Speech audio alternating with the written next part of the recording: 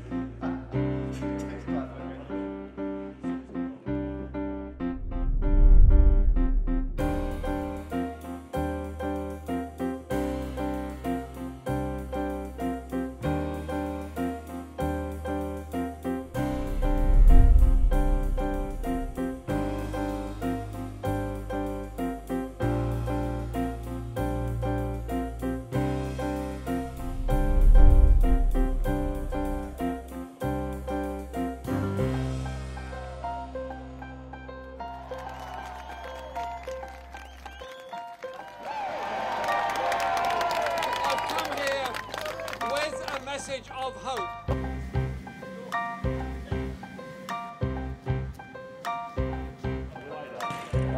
My next question.